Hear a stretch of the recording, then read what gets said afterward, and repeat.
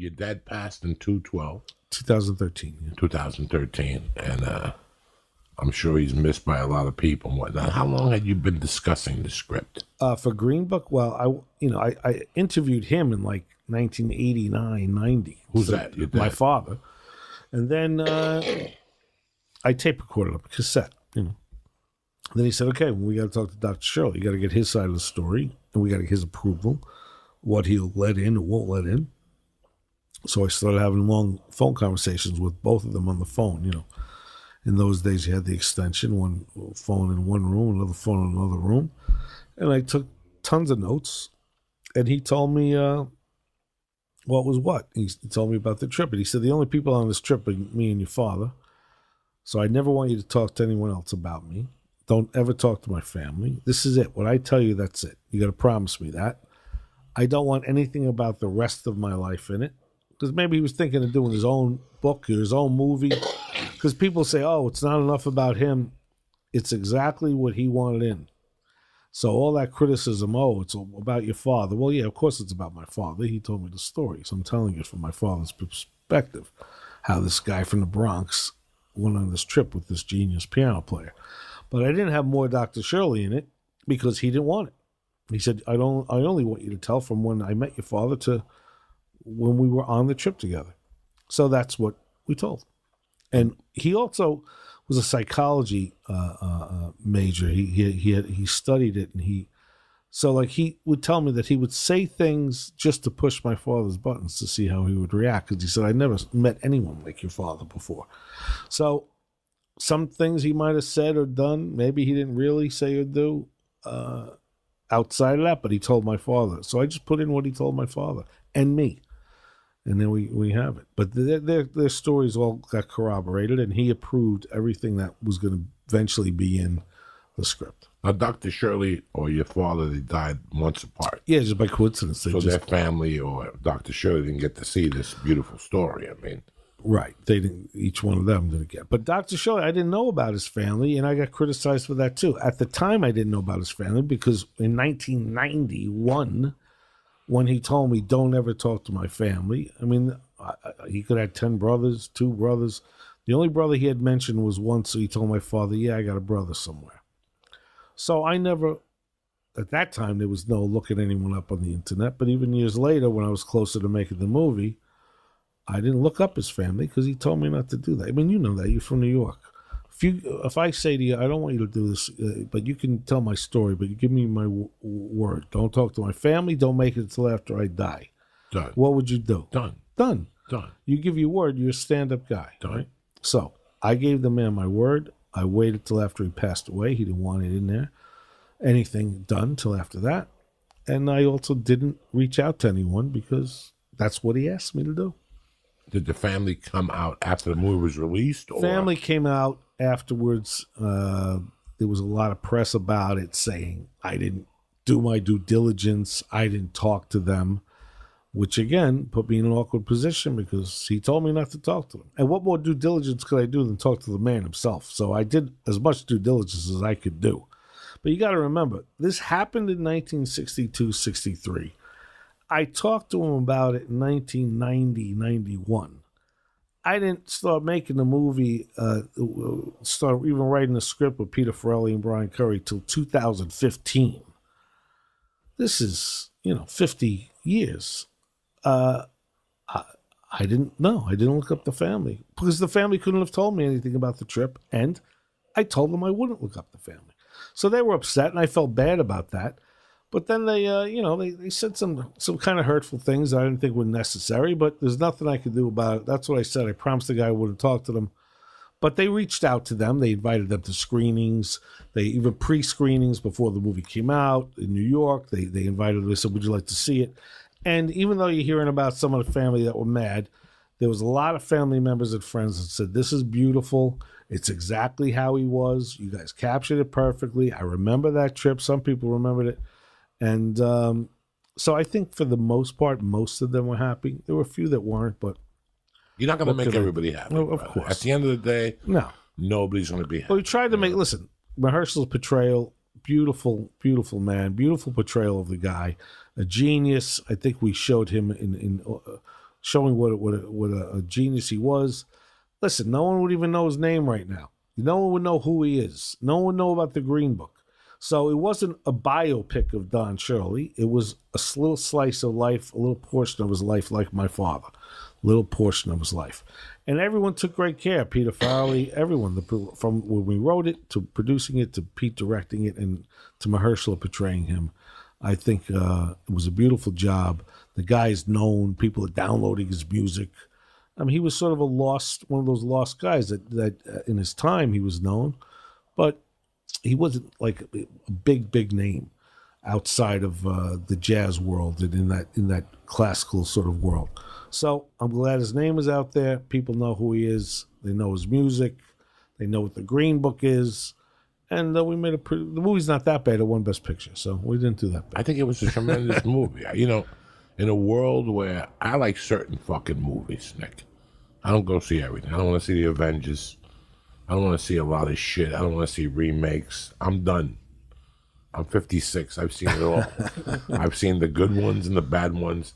And once you're in a movie, you see behind the curtain why a movie's made. No capes. You don't want to see any capes. No capes. Yeah. No capes. No nothing. So to me, that movie, it, it came somewhere where I, you know, where I've been. You know, I was telling people here that sometimes I say the word Arab or whatever. When I was in college, my tutor was Muhammad Zabib. He would come to my house. I would go to his house. He would tell me about that culture. So whatever the fuck you say, it doesn't really matter because I know the truth. They're sweet people. So we've all gone through that transition where we prejudge somebody. Yes. know?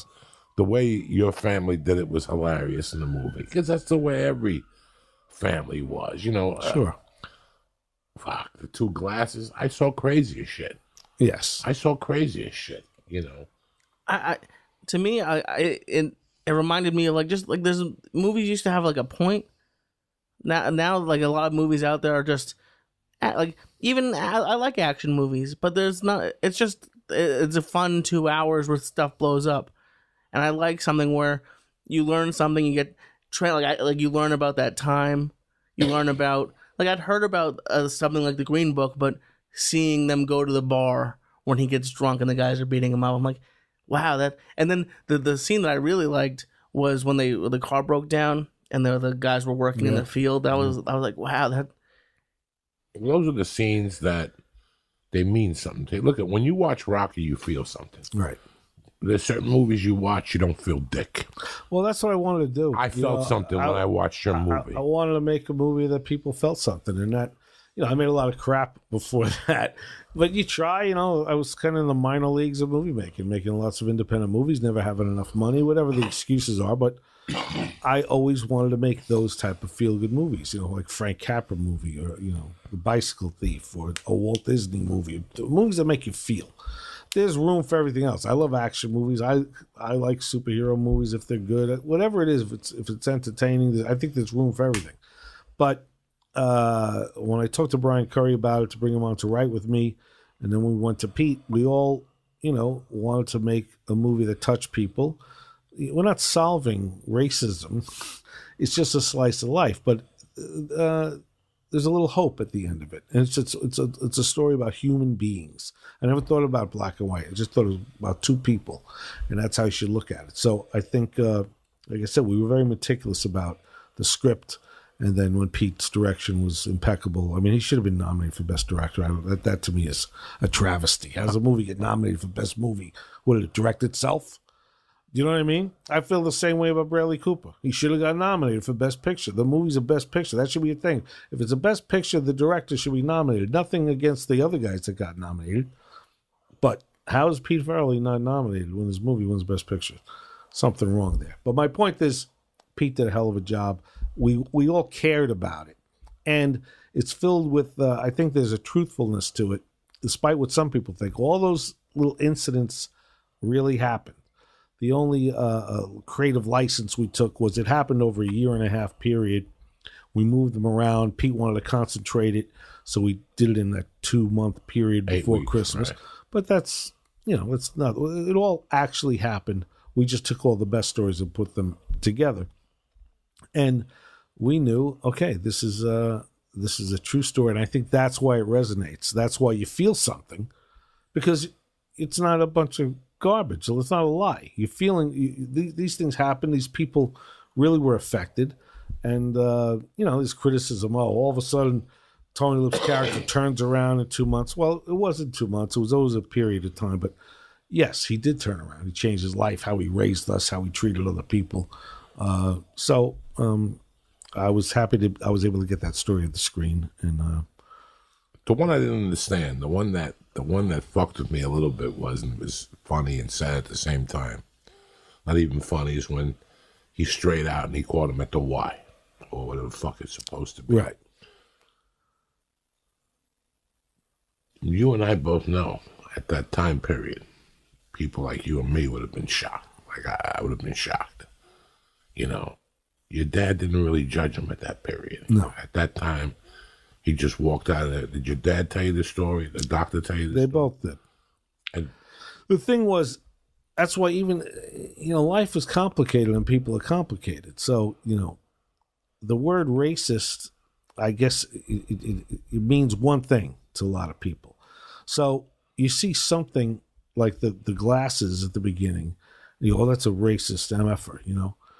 But again, I, and this is a, I don't I don't I don't like give. There's no excuses, but one thing or how a person is doesn't mean he's completely one way or has a bad heart or he has a uh, he was a, he wasn't he wasn't a racist in the sense he wasn't walking around with a hood in his head.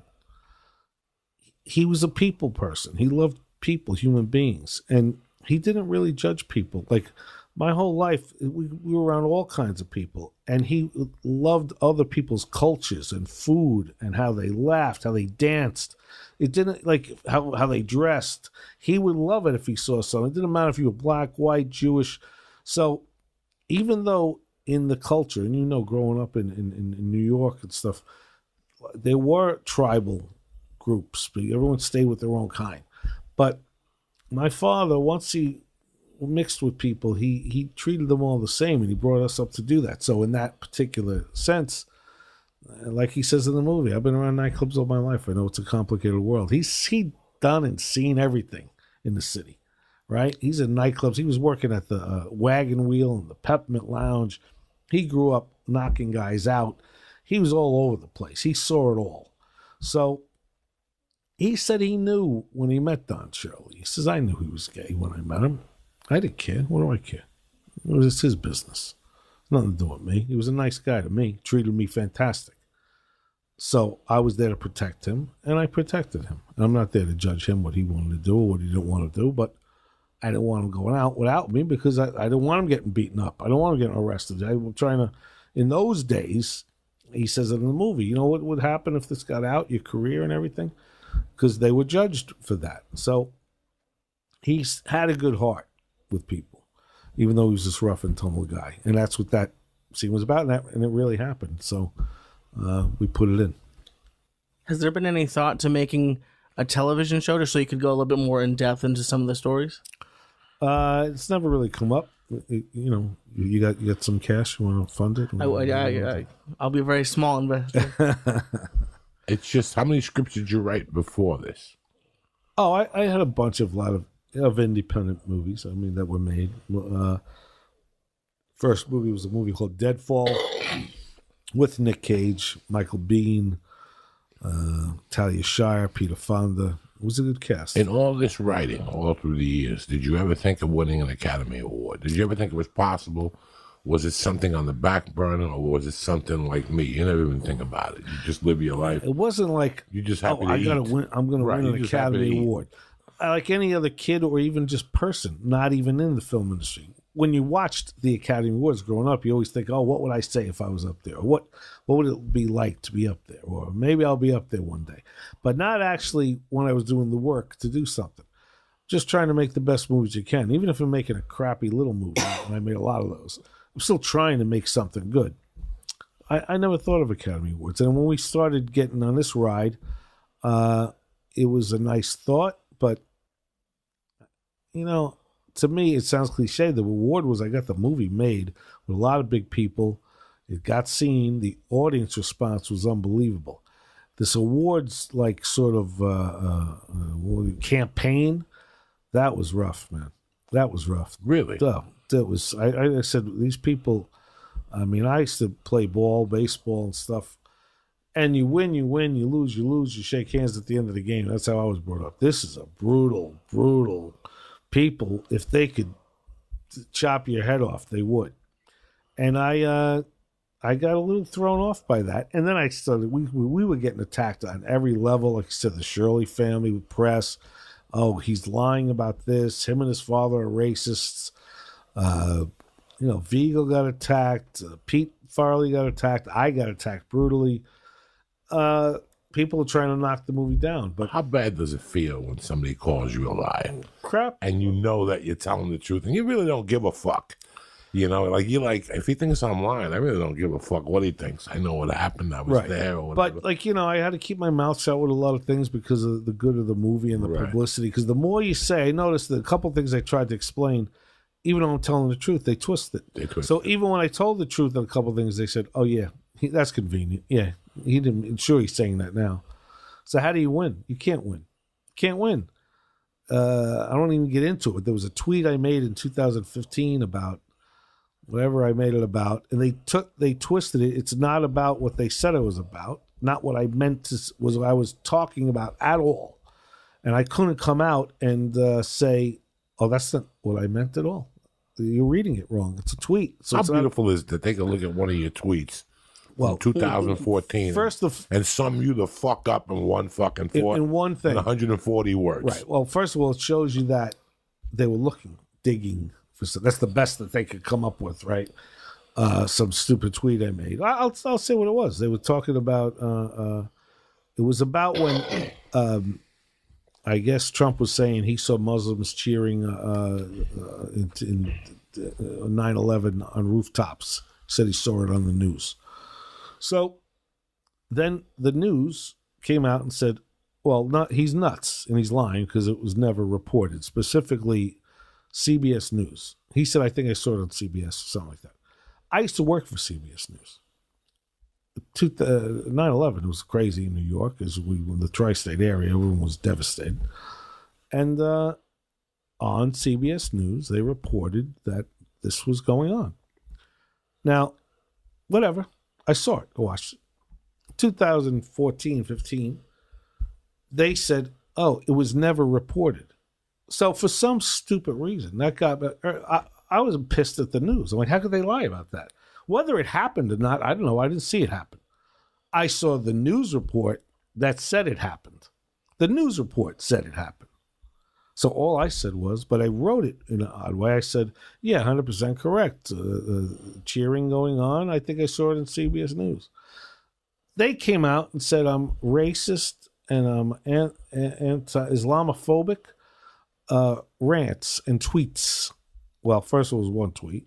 No one how, how does it make me racist? I didn't say I. I just said I saw something on television. I saw the news report on television. That's it. But because it was a tweet, I could only write so many words. If I know I was right, if I write a dissertation, I would have said, "Oh yes, I also saw the news report that said that on TV. It was on Channel Two. Crazy. What went on with that is just insane, which shows they could say and do anything. So I didn't say anything about it because, uh, for the good of the movie, they didn't want me to say nothing. I wanted to defend myself and say, well, what they're saying is not the truth. I'm being accused of something I didn't do or didn't mean. Wasn't even in my heart, mind, or soul what they're saying, and and that's what happened. So, taught me a great lesson. Uh, luckily, I was not a real tweeter. I think I only did 20 tweets so in my whole life about come see this movie, go see my movie. That one in particular pissed me off because I thought, how could a news organization lie and say it wasn't on the air? Another one on YouTube. I found it. I found I found the uh, the news report. It's on. It was on. People, everyone else that knows me saw it. People in Jersey. And I got a lot of people don't know me said, "Oh, I saw that." But so what? I saw it on TV. What is that? What is that? We all saw planes hit a building. We saw the World Series being won. What if I said, "Yeah, I won the. I saw. I saw the uh, the uh, the Red Sox win the World Series." I saw it on television. And I didn't do it. You know what I mean? It's bizarre. So they come after you even when you win the fucking thing. right. They So, so, so it was it was it was a tough time. It it kind of took the uh, the fun out of it for me, and um, but it didn't didn't stop the movie, and uh, the movie did well because I think people saw most people saw through that. I think it's a, a small minority, and and the people that report that stuff aren't real journalists. The real journalists, I met a lot of good ones along this trip, and uh, they're they're they're good people, and they have brains in their head, and they they they ask both sides of the story. This was just attack, attack, attack, attack, and uh, you know what? But I'm a big boy. I could take it. I dealt with it. I said whatever. I don't care what they think. So Nick, a fucking Academy Award. won two Academy Awards. You know what I'm saying? Academy Award. This is no. When you were writing it, who were you thinking of for the lead when you were writing it? Uh, I knew it had to be an Italian. Before I met with Pete and Brian a couple years before, when I was first thinking about it, um, I talked to James Gandolfini about it, and he loved it.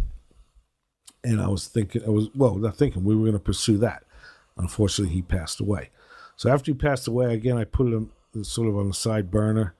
It's like you know, my father had passed away the same. Gandolfini, the last time I saw him was at my father's funeral four or five months later, he passed away too. So it was really a rough sort of time for me. And then when I started doing it again with Brian Currie and Peter Farrelly, lots of names came up, and we uh, we talked to a lot of different people, and Pete met with some people, and then it was Pete that came came to me and said, "What about Viggo Mortensen?" And I Viggo Mortensen's one of my favorite actors of all time, and I went, "Wow." Viggo Mortensen's unbelievable. I said, "But Pete, I, there's something about it. I think the guy's got to be Italian, or at least half Italian, or have some of that sensibility because you know you start doing a bad New York Italian, Terrible. it's like a Saturday Yeah. Night Live skit, Right, you know. right. Some guys imitating Joe Pesci badly, you know. So uh,